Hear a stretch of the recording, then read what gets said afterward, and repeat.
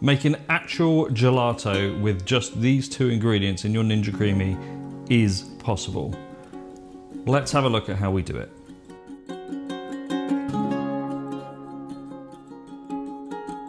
Gelato isn't anything fancy. It comes from Italy. It's a, it's a different type of ice cream. All right, so American ice cream has higher overrun, slightly lower sugar, much higher fat. Gelato has much lower fat, much higher sugar, much less overrun. That's what gelato is. That, that is the main differences between ice cream and gelato. That's it. You can play around with that. You can increase overrun a gelato and it will still be just as nice. But the sugar content being really high is something that people are quite happy to forget about gelato. In the world where everyone is obsessed with being healthy, they want to eat gelato because they think it's something special. And in reality, what's better for you, sugar or fat? Well, neither, really. They're both as bad, as bad for you as the next. But we make that judgment when we make our ice cream because it's enjoyable.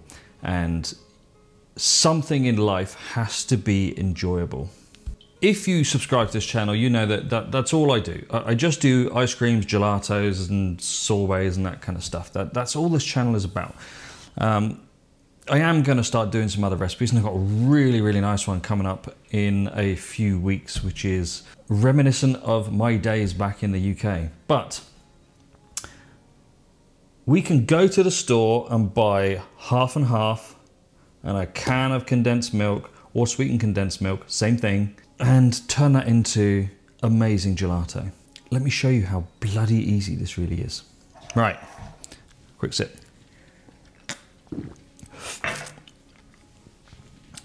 We need 550 grams of this, which is this in cups, all right? We don't even need to heat this up. That's a massive bowl, but that will do. We, we don't need to heat this up.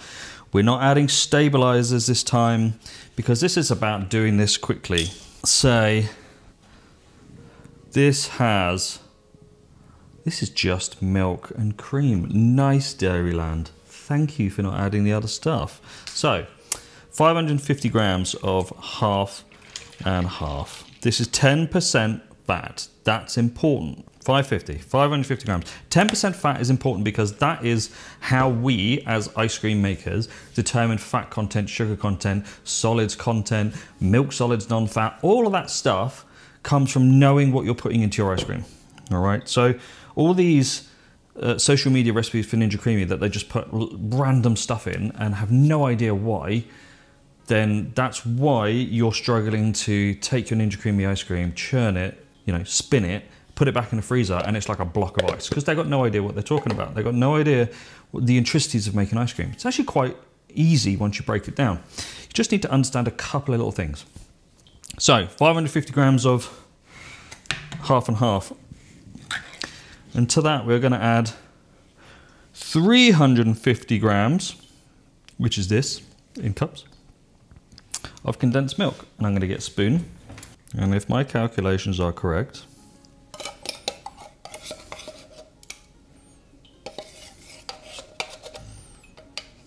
That is an entire can. So this is a 300 ml can. I love condensed milk. Of condensed milk. With this, we need to add some kind of flavor. This is where the, the thing comes. This is where the importance of knowing what makes a good ice cream good.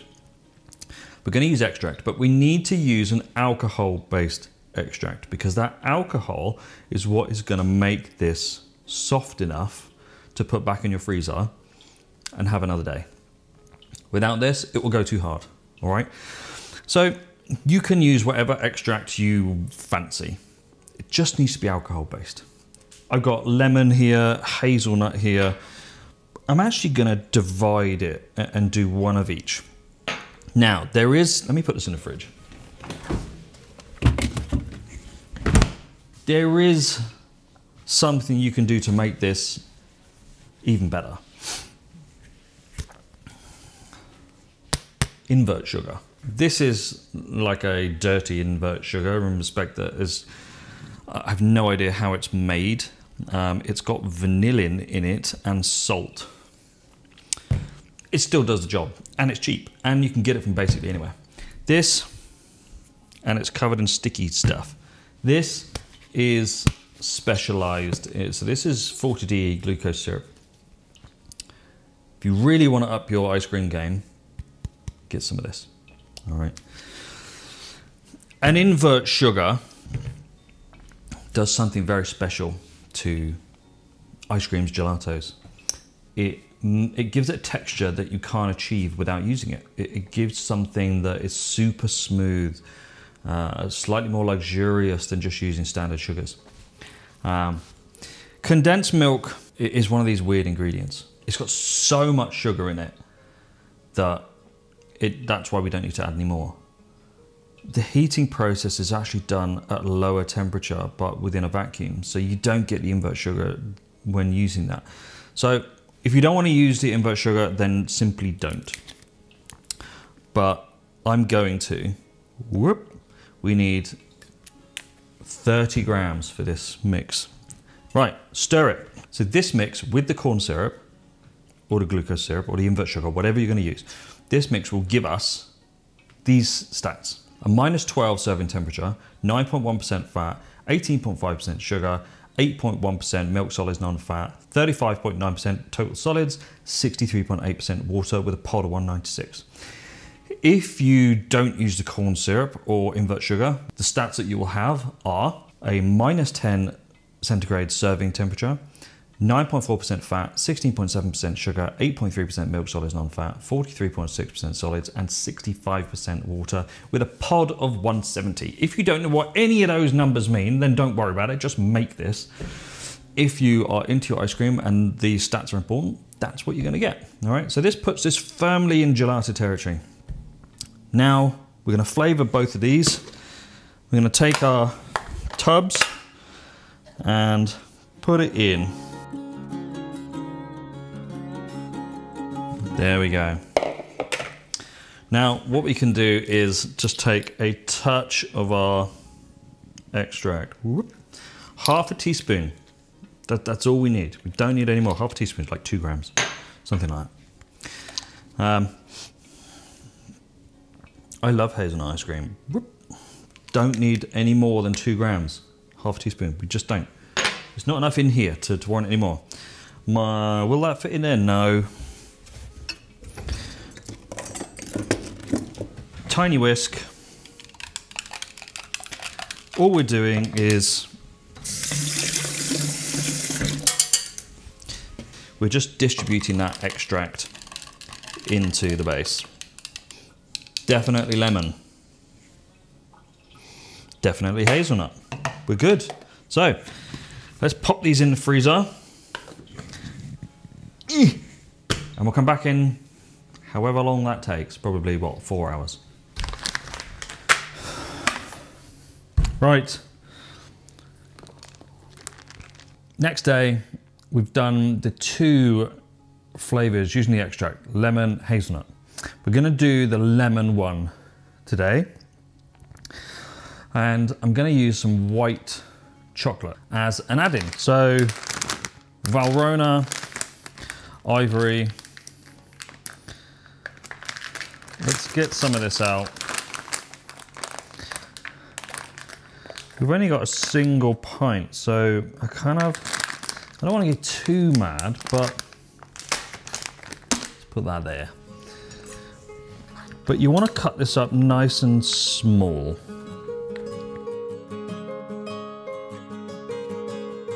There we go. Let me get my phone so you can see how small that is. So there we go, nice and small. Let's just take a piece so you can see the size. We got, if it's too big, then it's like a massive hard chunk of chocolate in your ice cream. And I mean, I like that, but hey, not everyone does. So now that we've got that, we can get our tub out the freezer.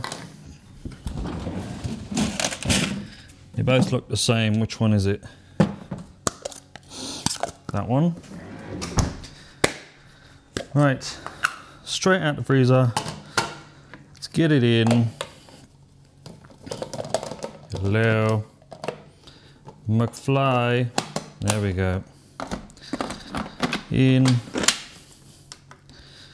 And let's get it going.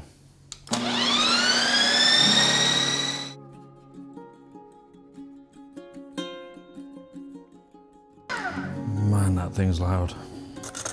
Let's get our spoon.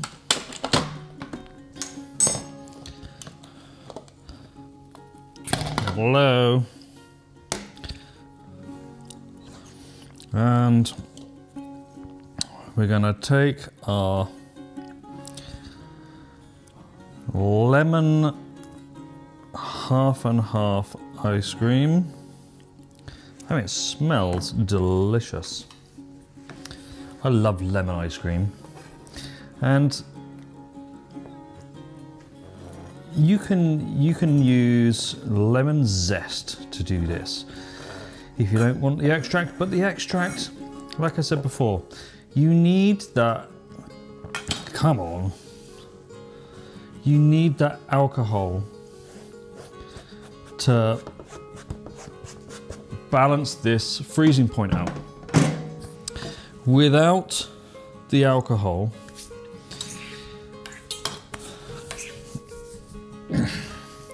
without the alcohol, the moment you put it in the freezer after eating some, it's gonna go rock solid. And that's something people, other 99% of people that do Ninja Creami recipes don't tell you, is how to balance that freezing point so that it doesn't go rock solid. That's why you're here. Ice cream channel, yay! So we've got our white chocolate in there. Now we are just going to do our mixing.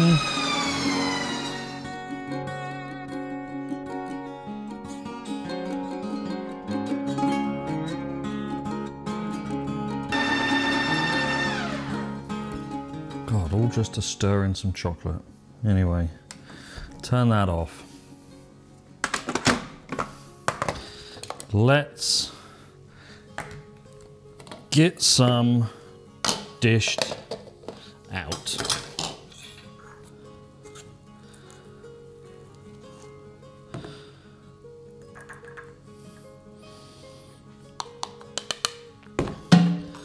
Let's get our spoon. Uh, and I can now put this in the freezer and it'll still be good in a week's time.